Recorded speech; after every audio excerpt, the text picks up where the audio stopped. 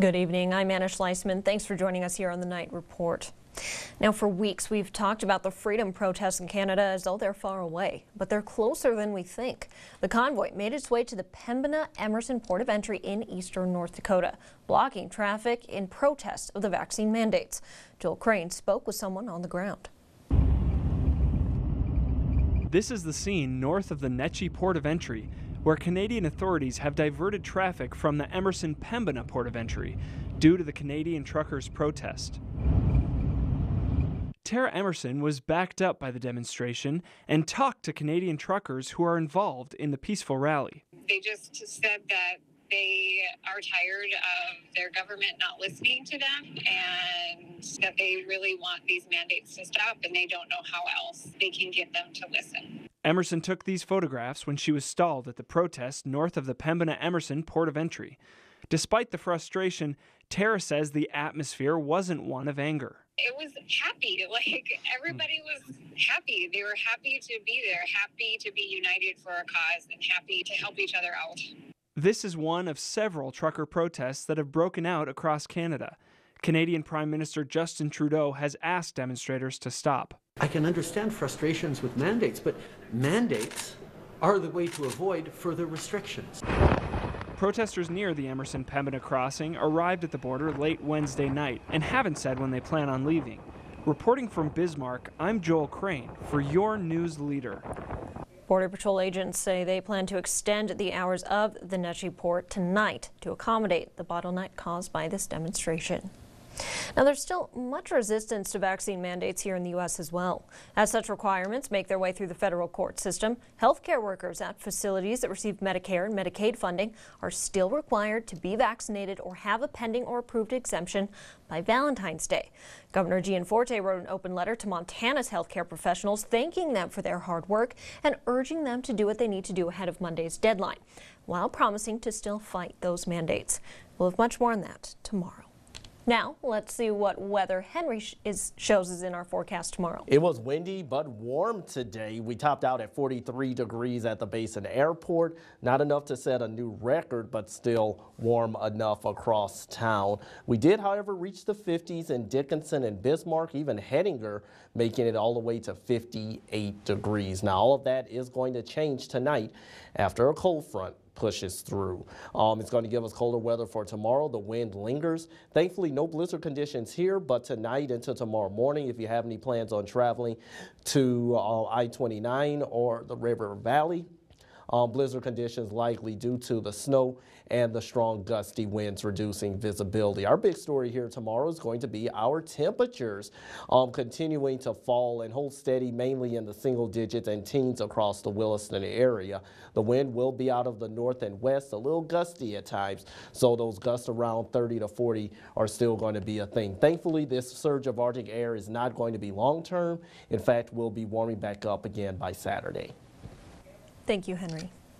Williston City Commissioners voted 3 to 2 this week to create the city's first special assessment district since the 80s. It will cover 61 lots at the Highlands at Hawkeye Village, where the developers are asking the city to help with construction costs. But they must pledge 35% of collateral, which some commissioners felt was too low. But the developing manager says special assessments aren't as risky as they used to be. The deals that are being uh, signed are much more balanced the developers have more at risk. I, I think they made the right decision, even though it was hard to get there. The development will have 170 homes with space for retail and a new school. Now, more housing is definitely needed as the Williston area continues to grow, especially as it becomes a coveted site for economically and environmentally friendly projects.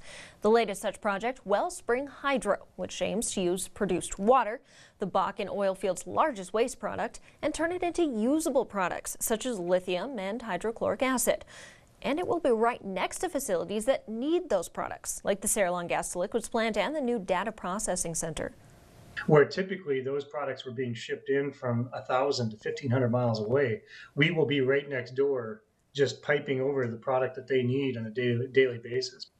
Kemp says the facility will provide 60 full-time jobs and 60 million in annual revenue. Now, lithium is about to be in even higher demand as it's used to make electric car batteries. And President Biden just announced a major initiative to ramp up their production and use. The plan includes a new facility in Tennessee that will produce up to 30,000 electric car chargers as part of Biden's larger vision to build a sprawling $5 billion network of charging stations across the country. With reports today that inflation has risen more than 7% in the past year, he partially blames gas powered cars. One of the reasons automobiles cost so much is they're responsible for one fifth of the recent inflation is because they lack semiconductors. They're not able to build them quick enough, so the price goes up higher because there's fewer to sell. He and his administration say e-vehicles are the wave of the future, and this plan will offer a major boost to the nation's embattled economy. They'll create jobs, fight the climate change crisis, and ensure that this game-changing technology is affordable and accessible for every American. Taken together, an electric future comes uh, into focus, and with it, good paying jobs, good health, good communities across the nation. We are excited to get it done. Also in Washington, the Senate passed one of the largest workplace reforms in decades. It forbids employers from forcing workers with sexual misconduct claims into arbitration. Instead, the measure permits them to file lawsuits.